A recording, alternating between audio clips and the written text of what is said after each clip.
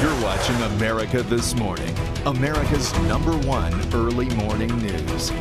And good morning, everyone. We begin this Friday with that breaking news in Chicago. 13 people, including a three year old child, shot when a gunman opened fire on a basketball court in a city park. That child is among the most severely injured right now, listed in critical condition with a gunshot wound to the face. About 60 police officers were on the scene. Investigators say the shooting appears to be gang related. Police had stepped up their patrols after a particularly violent Labor Day weekend, which ended with eight people dead.